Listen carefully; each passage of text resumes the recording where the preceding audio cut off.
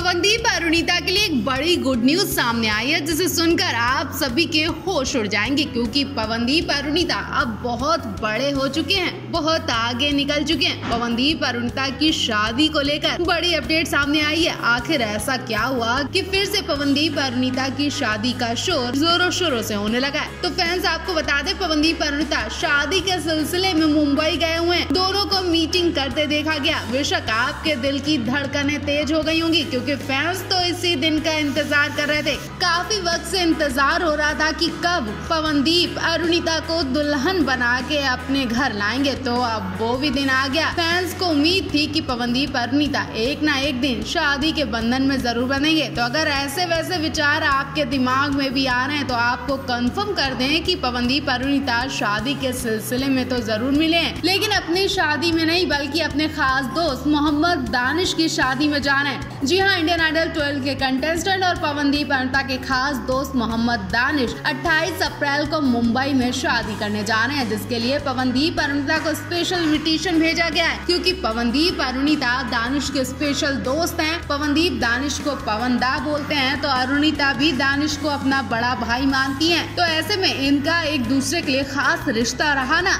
और इस रिश्ते को निभाने पवनदीप, अरुणिता ज़रूर जाएँगे। अभी दानिश की शादी की अपडेट पूरी नहीं आई है, लेकिन कहा जा रहा है की दानिश ने अपने करीबी दोस्तों के लिए मुंबई में पार्टी रखी है। वैसे दानिश पहले भी अपने दोस्तों के लिए मुंबई में पार्टी रख चुके हैं, जिसमें पवनदीप, अरुणिता नज़र आए थे, और आप फिर से पवनदीप अनुता दानिश की शादी में बिजलियाँ गिराते नज़र आएँगे। इनकी एंट्री भी बहुत खास दिखाई जाएगी, जिसका फैंस बेसब्री से इंतज़ार कर रहे हैं। और न केवल जाएँगे, बल्कि बेहतरीन गानों से शादी में समा बाँध देंगे। पवन अनुता ज़बरदस्त परफॉर्मेंस भी देंगे और तो और दोस्त की शादी की तैयारियों में पवनदीप अनुता क्या क्या कर रहे हैं, हम आप तक जल्द पहुंचाएँगे।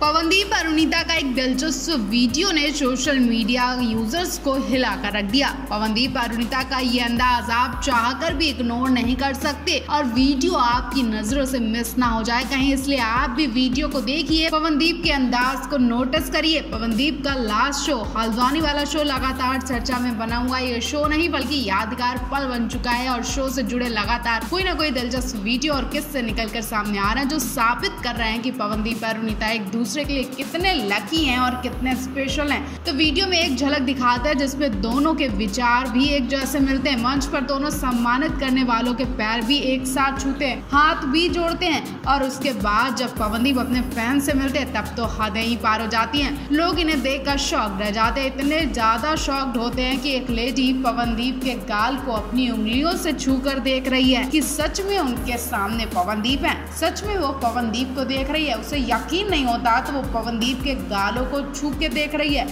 अब ये तो बात सच में शॉक करने वाली है। पवनदीप इतने बड़े स्टार्स होने के बाद भी लोगों से आम लोगों की तरह मिलते हैं। वीडियो में देख सकते हैं, पवनदीप एक शख्स से मिलने में लगे हैं, उससे बातें कर रहे हैं, हाथ जोड़ रहे हैं उसके सामने और कुछ सेल्फी भी ले रहे हैं और दूसरी तरफ़ एक महिला पवनदीप के गाल को टच करने में लगी हुई है।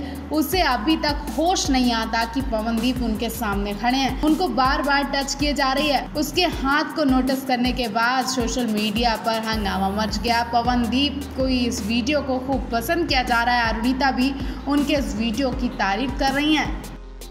अरुणिता कांचीलाल बीमार हैं और बीमारी की वजह से ही वो लंबे ब्रेक पर थी। और फिर से घर चली गई हैं। इस बीच अरुणिता के गले का माला भी तमाम सवाल खड़े कर रहा है। काफ़ी टाइम से अरुणिता कांचीलाल को रुद्राक्ष वाली माला पहने देखा जा रहा था और अब अरुणिता की इस माला को बीमारी से जोड़ा जा रहा है। ऐसा कहा जा रहा है कि अरुणिता जब से विदेश यात्रा से घर लौटी थी, तब से वो बीमार थी। हालाँकि उनकी बीमारी क्या है, इस बारे में पता नहीं चला लेकिन कहा जा रहा है कि उन्हें नज़र भी लग जाती है, जिसकी वजह से उनकी माँ ने उनके लिए नज़र वाला माला बनवाया था। और शायद इसलिए अरुणिता हर शो में इस माला को अपने गले में पहन कर रखती है। कभी भी वो इस माला को अपने गले से उतारती नहीं है। अरुणिता हल्द्वानी शो में भी ड्रेस पर ये माला पहने दिखाई दी थी। विदेश में भी अरुणिता इस माला के साथ दिखाई दी थी। जब कुछ टाइम पहले अरुणिता, पवनदीप और ज्योतिदीप इनकी पूरी टीम मालदीप शो में गए थे, तब भी अरुणिता को इस माला के साथ देखा गया। और अब लगातार अरुणिता इसी माला में दिखती है। अब सवाल यह है कि क्या सच में अरुणिता का ये माला बीमारी का सबसे बड़ा राज है। अरुणिता बीमारी से बचने के लिए या यूँ कहें कि नज़र से बचने के लिए ये माला पहन रही थी तो इसमें कोई गलत बात भी नहीं है। अगर वो उससे बचना चाहती है और उन्हें किसी ने ये माला की राय दी है तो वो पहन रही है तो उसके लिए उनके लिए अच्छी बात है। लेकिन बीमारी क्या है, अभी तक इस बारे में पता नहीं चला है, क्योंकि अरुणिता को इस तरह से कभी गायब होते नहीं देखा गया है। जैसे ही वो शो में गई, फिर से बीमार पड़ गई तो क्या अब ये माला भी काम नहीं कर रहा है? क्या सच में अरुणिता बीमारी की वजह से घर में गई है। फ़िलहाल तो अरुणिता के आने के बाद ही इन सवालों का जवाब मिल पाएगा, क्योंकि पवनदीप तो अपना काम शुरू कर चुके हैं और अरुणिता की कमी भी खल रही है। पवनदीप के साथ क्या अरुणिता इस बार शूटिंग नहीं करेंगी? अरुणिता, पवनदीप गाने की शूटिंग करने वाले थे, लेकिन फिर से इनके सॉन्ग में रोक लग गई है। अरुणिता का कुछ भी अता पता नहीं है।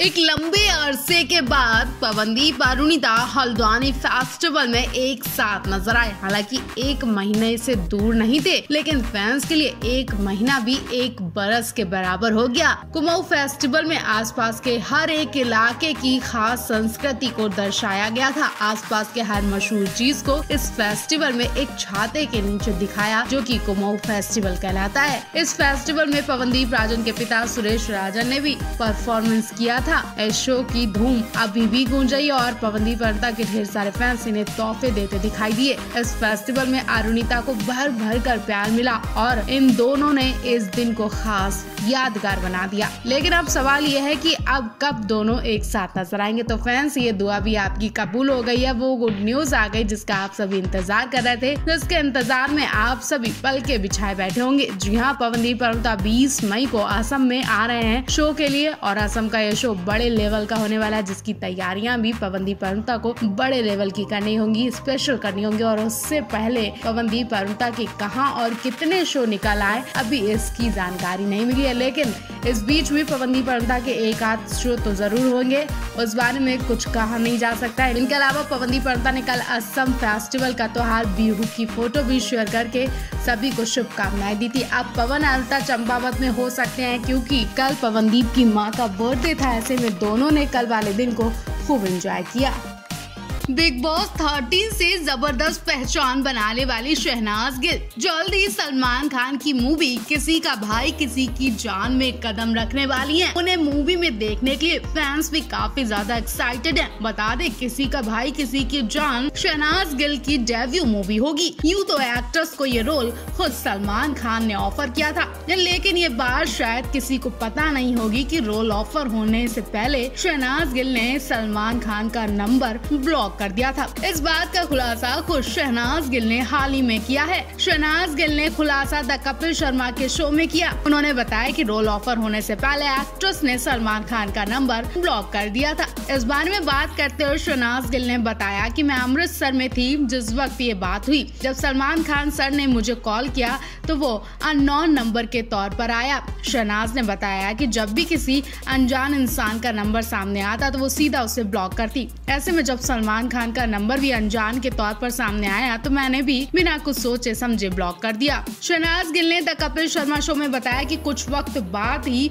उन्हें पता चला कि सलमान खान शहनाज को कॉल करने की कोशिश कर रहे हैं। शहनाज ने बताया कि उन्होंने तुरंत नंबर ट्रू कॉलर पर चेक किया और इस दौरान उन्हें पता चला कि वो नंबर सलमान खान का था। ऐसे में शहनाज ने उसे तुरंत अनब्लॉक किया और भाई जान से बात की। तब जाकर उन्हें किसी का भाई, किसी की जान का रोल ऑफ़र हुआ। शहनाज गिल ने बताया कि किसी का भाई, किसी की जान में सलमान खान के साथ काम करने का अनुभव उनका काफ़ी अच्छा रहेगा। एक्ट्रेस ने इस बारे में सिर्फ़ सपने में सोचा था और अब उनका ये सपना पूरा होने जा रहा है। मुझे जरा भी घबराहट महसूस नहीं हुई। मुझे ये भी अच्छा लगा कि मैं फाइनल आउटपुट में काफ़ी अच्छी लगी।